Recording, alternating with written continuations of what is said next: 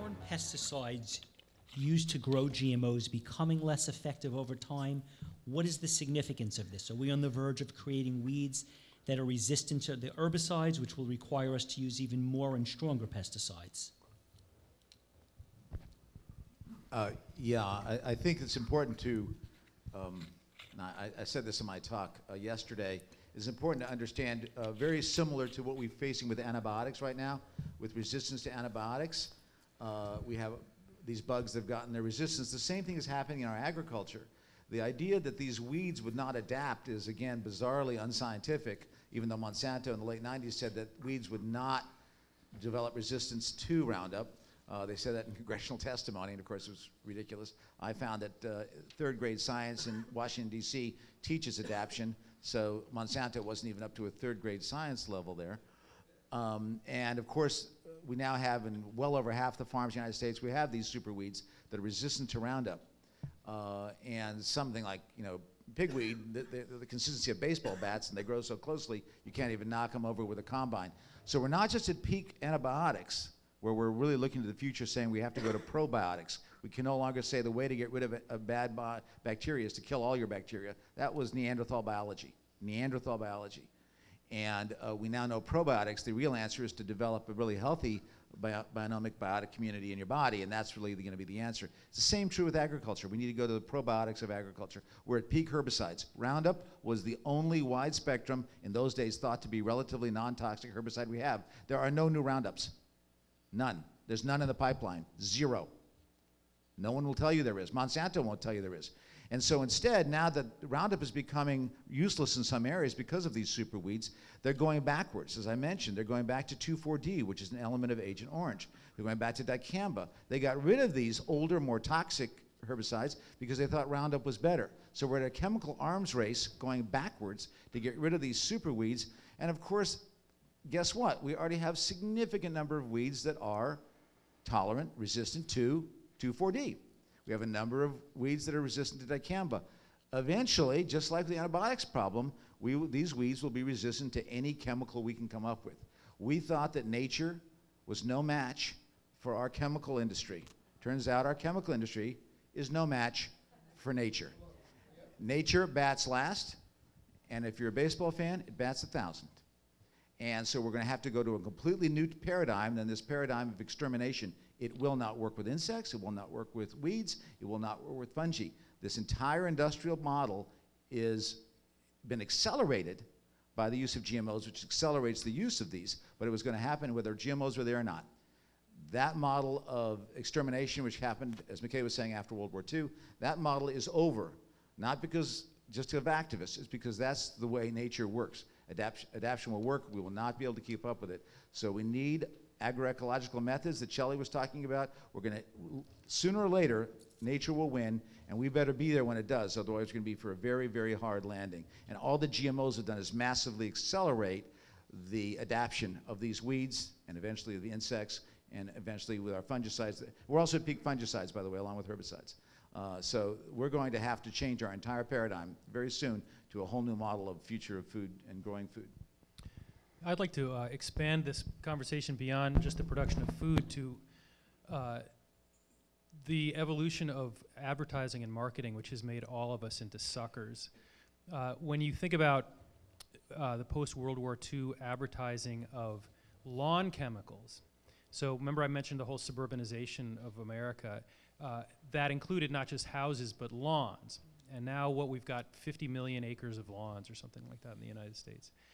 And uh, what these chemical companies, not just they were not just selling to food companies or, or, agricultural companies, they were selling them to homeowners because now we had all these lawns and they needed to sell us herbicides. So what was the, the, the great villain of the American lawn uh, was clover.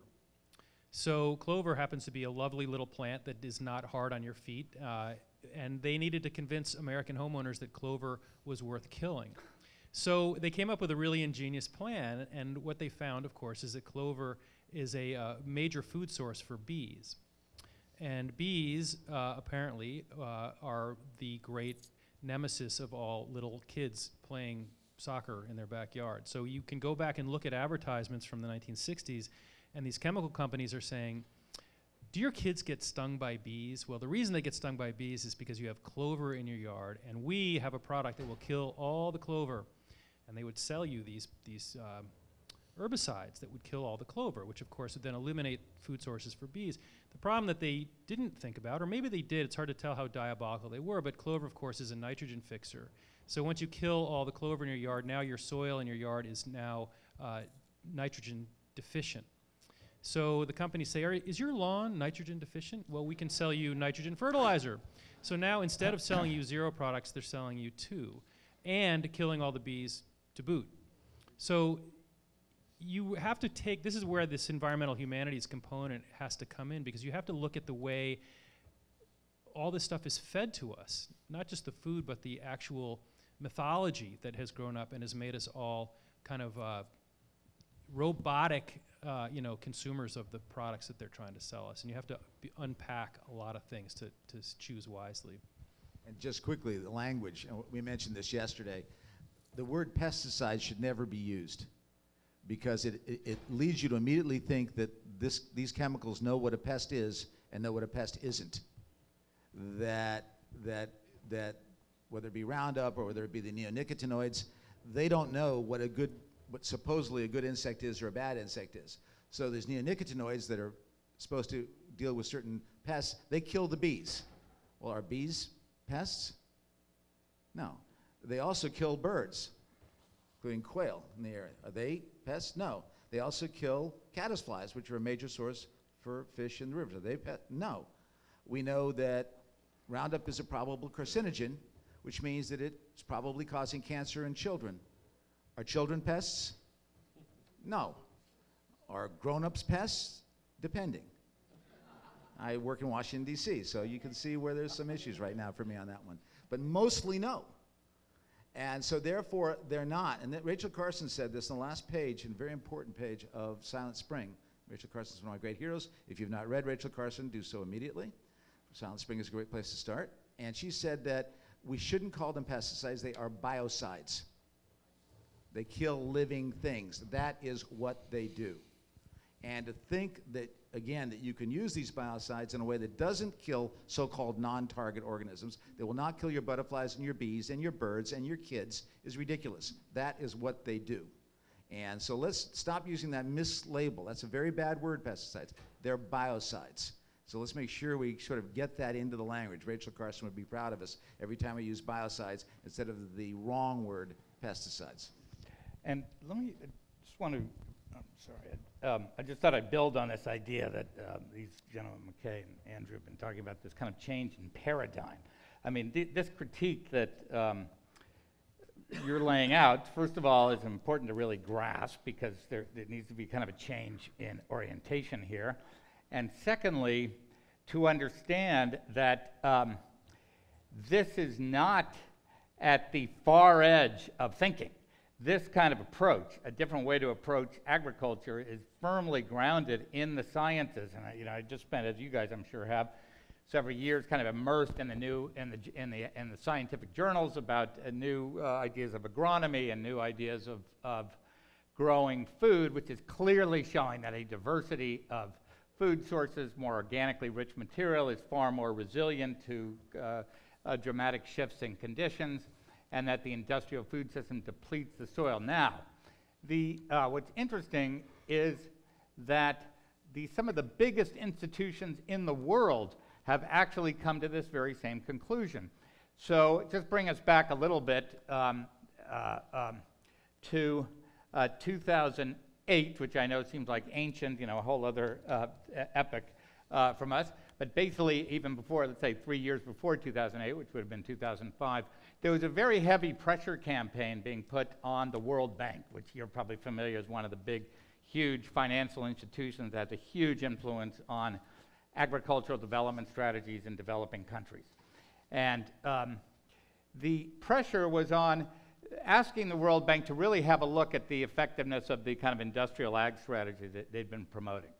And it was led by some uh, NGOs around. Food First is one of them, uh, Friends of the Earth, that some of you might be familiar with, uh, various, a couple of these international NGOs.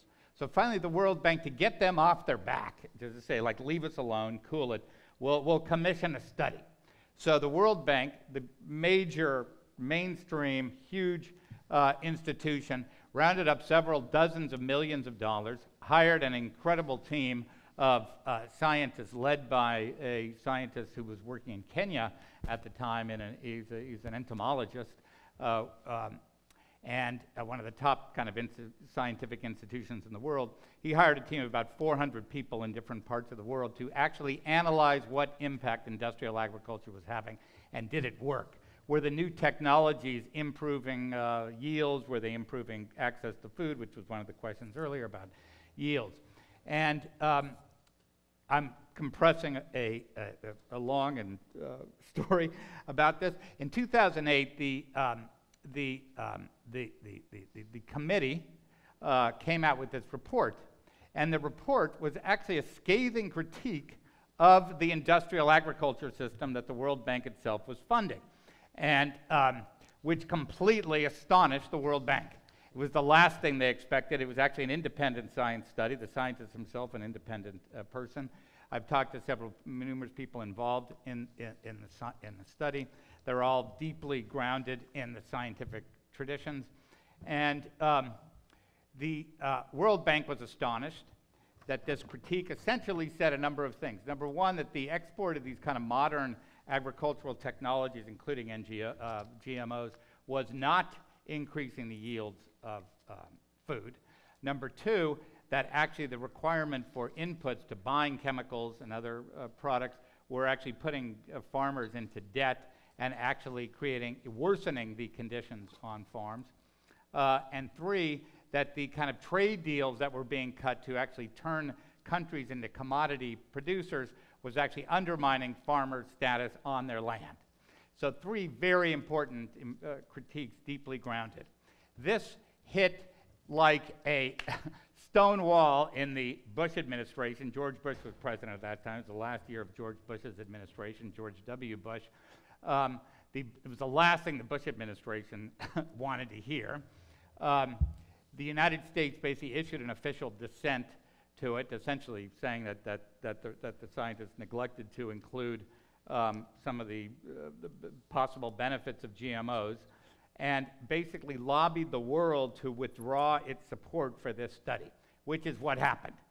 So basically, in 2008, as the world economy was going through its troubles, remember there was that back in 2008, this report was essentially withdrawn from uh, public discussions, why you haven't heard of it before, and it's why, um, and, uh, and yet this report was identifying many of the exact same things that we're talking about here at this table about the kind of flaws and vulnerabilities of industrial agriculture, affirmed by some of the top scientific and minds when it comes to the agricultural sciences in the world. And so that report now informs a lot of people who are advocating reform of this system, but I just want to point out that the discussion we're having here is not drawn from the kind of not that it ever would have been. All these people's work I, I, have respected over the years, so this is not. I, I'm just saying any perception that this is somehow out of the mainstream of established scientific thinking and international institutions who are doing honest analysis of how this works is completely consistent.